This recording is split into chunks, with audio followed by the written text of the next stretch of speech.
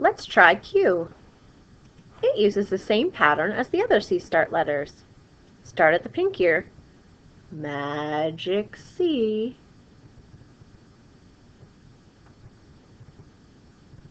Up to the pink ear and back down.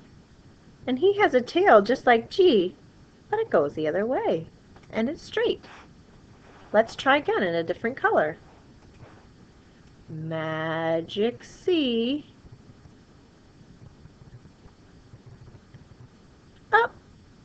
down, and give him a tail.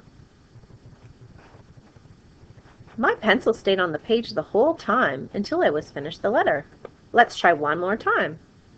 Start at the pink ear. Magic C.